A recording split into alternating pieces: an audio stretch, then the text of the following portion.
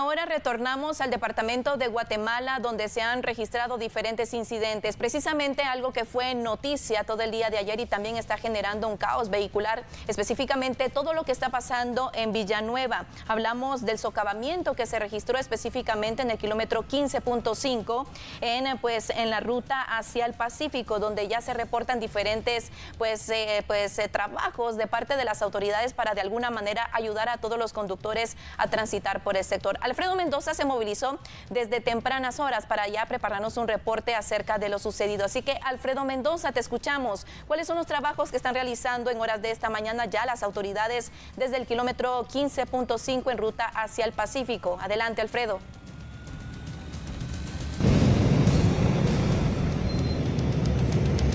Así es, gracias y muy buenos días, amigo televidente, compañeros de TNT Noticias. Qué gusto saludarles a esta hora de la mañana. Tenemos información importante sobre las condiciones del tránsito vehicular que se están suscitando a esta hora de la mañana en la carretera al Pacífico, particularmente por la emergencia que se suscita en el kilómetro 15, en donde le vamos a conocer respecto a un hundimiento que había comprometido prácticamente todos los carriles, tanto con sentido hacia el norte como con sentido hacia el sur de este pues, eh, tramo principal recorrido por miles de guatemaltecos en horas de la mañana y tarde. Estamos ubicados en el puente que conecta pues, la carretera al Pacífico con el municipio de Villanueva, Enrique Tejada. Estamos en este punto y pues hemos eh, contabilizado que las personas que proceden de carretera al Pacífico, desde la cuesta de Villalobos hasta este lugar, son aproximadamente 3 kilómetros y las personas están haciendo más de una hora para recorrer estos 3 kilómetros porque el tránsito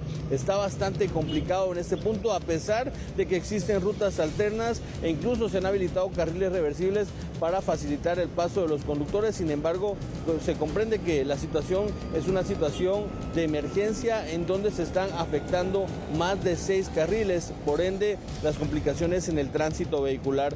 Justo a un costado de este puente se ubica el hundimiento que se registraba desde ayer en horas de la madrugada y pues lo que podemos observar eh, pues y actualizar es que las grietas que están sobre la cinta asfáltica son más notorias, son más prominentes, esto debido a que llovió, el suelo se sigue socavando y por consecuencia la cinta asfáltica en cualquier momento podría caer.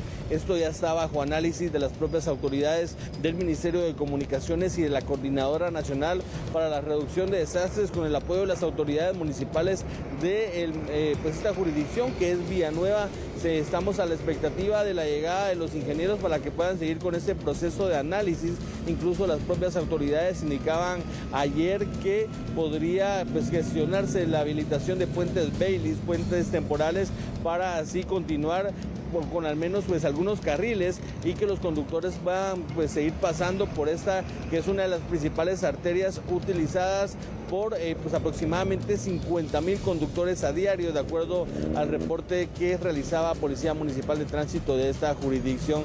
Ustedes eh, pues están observando, la cinta asfáltica está señalizada ya, luego de pues un análisis completo que se ha dado eh, pues con radares, georradares que han utilizado para medir las dimensiones de esta caverna. Son aproximadamente de 10 a 15 metros de profundidad los que se han contabilizado en este punto.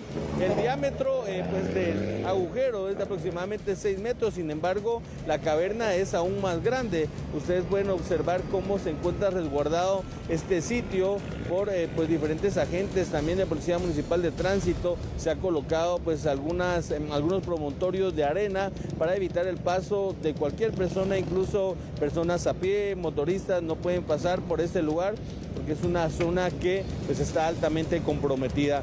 Es parte pues, de la información, el reporte que tenemos a esta hora de la mañana.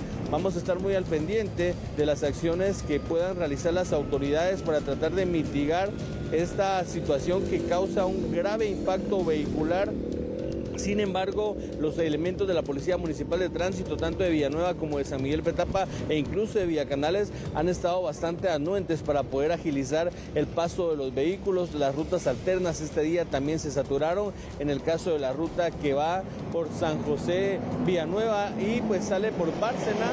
Asimismo, la ruta que pasa por eh, Colonia Mezquital, Búcaro, para incorporarse a la calzada Raúl Aguilar Batres e incluso algunos transportistas han preferido realizar pues la denominada vuelta al lago de Amatitlán, esta circunvalación para salir del lado de Villacanales y el Boulevard El Frutal también ha sido utilizado para incorporarse a la avenida Petapa. Todas estas vías alternas han sido altamente congestionadas por el gran parque vehicular en una situación que llamaba la atención, reporte de Policía Municipal de Tránsito que regularmente cuando es quincena y fin de mes hay más parque vehicular, hay más vehículos en las calles y eso contribuye al congestionamiento que se está dando debido a esta situación que ocurre por el hundimiento registrado en el kilómetro 15 de la carretera al Pacífico. Es parte de la información, el reporte que tengo a esta hora de la mañana junto a mi compañero Mario Osorio. Más adelante tendremos otros detalles respecto a esta situación. Ya es el segundo día consecutivo en que se, pues, se bloquea temporalmente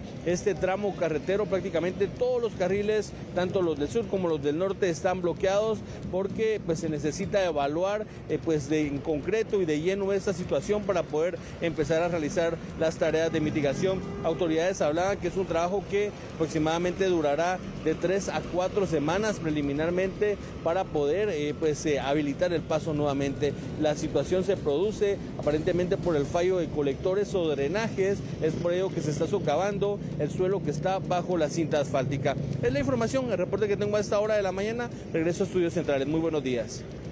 Muchísimas gracias Alfredo Mendoza por esos detalles complicados. La circulación vehicular desde el día de ayer. Cabe mencionar que las autoridades, según han indicado, realizan los estudios necesarios mediante un sistema de georradar para determinar cuáles son las razones del colapso. Mientras se realizan esos trabajos, ya lo decía Alfredo Mendoza, alrededor de tres o cuatro semanas podrían pues quedar inhabilitadas completamente las vías antes mencionadas. Hay que resaltar lo que han indicado desde el día de ayer las autoridades es que pues posiblemente haya un retraso por las vías alternas y también los carriles reversibles que se habilitaron en el sector. Sin embargo, hay que tener mucha precaución debido a que diferentes incidentes incluso se pueden pues, ver pues, damnificados debido a las fuertes lluvias. Y es que hablamos de miles de conductores guatemaltecos que se han visto perjudicados debido a este socavamiento registrado en el kilómetro 15.5 de ruta hacia el Pacífico. Y recordemos algunas de las vías alternas, según lo que indicaron las autoridades, una de las acciones fue completamente desviar el transporte pesado a través de la RN14,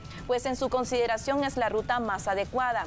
No obstante, cabe mencionar que se anunció el cierre de la ruta será pues por, tiempo indefinido según el Ministerio de Comunicaciones. Ya el día de hoy se espera conocer un dictamen técnico para poder tener toda la información y que pues eh, tener ya pues avances de los análisis que están realizando las autoridades en el sector. Sin embargo, a esta hora de la mañana aquí en TN23, este es el panorama del socavamiento que se registró en ruta hacia el Pacífico. Por favor, salga con tiempo de su hogar si va a dirigirse pues en cercanías de este sector. Tome en cuenta que hay pues tráfico lento, así que hay que llegar con mucho eh, con mucho tiempo a sus lugares de trabajo, a sus diferentes diligencias, mucha paciencia, sobre todo al circular por este sector. Recuerde que las autoridades, incluso de Policía Nacional Civil, Ejército de Guatemala, diferentes policías municipales de tránsito, tanto de Villanueva como de la Municipalidad de Guatemala, están trabajando en conjunto para de alguna manera desfogar el tránsito en este sector que se ha visto complicado, pues desde el día de ayer a las 2 de la mañana que se hizo el cierre completo para poder evitar cualquier tipo de emergencia. Sin embargo, como le comentaba Alfredo Mendoza, continúan las investigaciones y el análisis por medio de georradares para poder determinar cuánto tiempo o qué es lo que se tiene que reparar en este sector para poder habilitar nuevamente la vía.